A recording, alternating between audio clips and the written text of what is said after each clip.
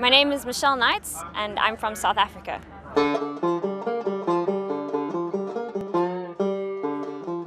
So I'll be talking about inflation, the theory of where everything came from in the universe. Inflation is this theory where the universe expands unbelievably fast in a very short amount of time, and it explains the origins of everything from humans to planets to galaxies. When I heard about it, it sounded like something built for me because I love science, I love science communication, but I also love drama. So uh, it's, it's combining two of my favorite things, and I'm very passionate about bringing science to people. If I were to win FameLab, it would be great. Um, this is the first time a South African has taken part in uh, FameLab, so it would be incredible to come home with the title of winner.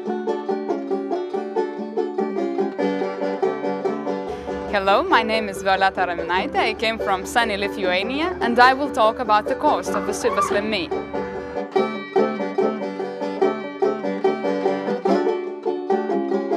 what I already gained, the experience I already have is just fabulous. And uh, why, why am I doing science for is for the people and for the people only, so that they know the dangers that can really occur sometimes if you're not knowledgeable enough. So my role as a myth buster is already implemented, so that's what I could have done and thank you for listening to that. Hi, uh, my name is Marcin Stolarski from Poland. Do not care where is the left, where is the, where is the right, where is the up or where is the down. But I care about small, tiny, itsy bitsy innocent transistors that can be easily damaged. And today, at night, I tell you how to protect them. We haven't a lot of people who win in the international level. Uh, so any winning is very important uh, to people in Poland to be proud that we really can build a satellite or really build something important, science, and, uh, and this is why I would like win. Not, not because I would like win or something like that. It's it's for people in the Poland that they should be proud that they are from Poland.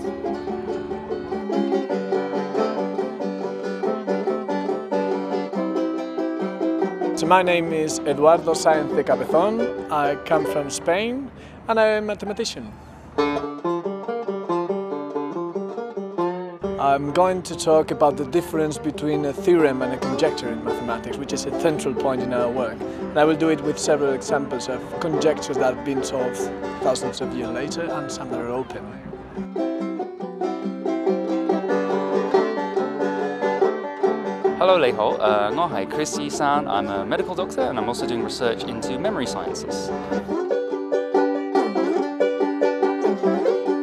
Uh, so tonight we're going to be talking about uh, kissing and probability, and in particular a type of disease uh, you can catch that might be on the lips of your lover. So look out. Well, to be honest with you, uh, I would really like to win, partly to take science communication back to Asia and try and make it a big deal, because it's really not, you know, science is not considered so creative back home. I, would like to really make a splash with it like they do here.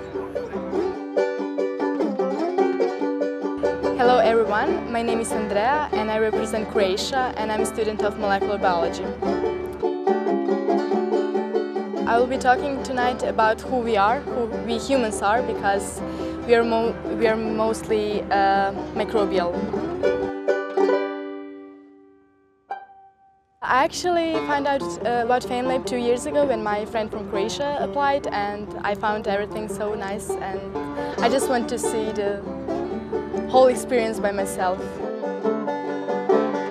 My experience in FameLab uh, up till now was absolutely amazing because I met some really nice people, I learned really a lot and everything was absolutely terrific so I'm really happy to be a part of it. Hello, my name is Nikos Konstantinou, um, I'm from Cyprus and I will talk about inattentional blindness.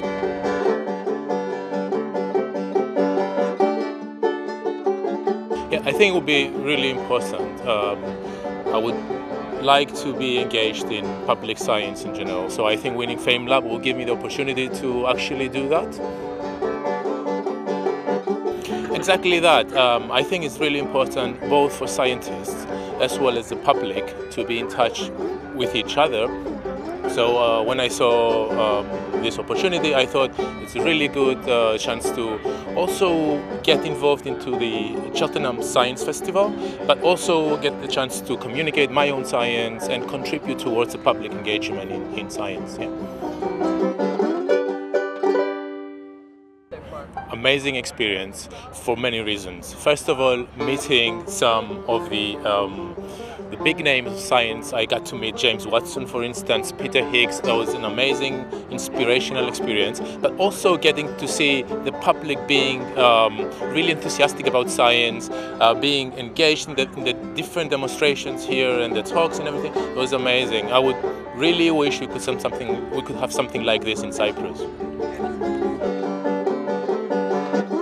Hi, I'm Leon.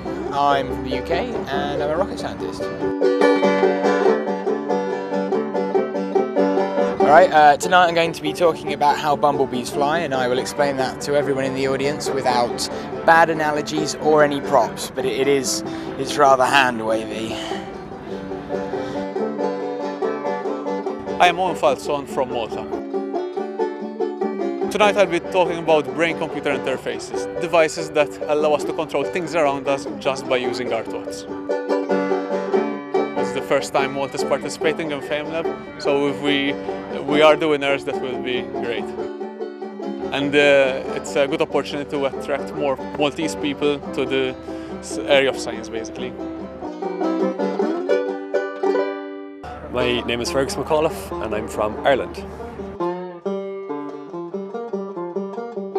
So tonight I'm going to be talking about how clear the line is between life and death and I'm going to be using the example of the wood frog to explain how clear or unclear that line is.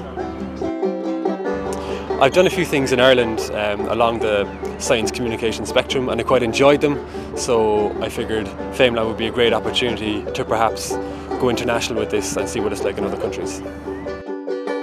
It's been absolutely fantastic. Uh, there's a real energy and buzz around the place. Everyone is in, everyone is really enthusiastic and everyone shares a common interest in science. So there's great conversations all the time.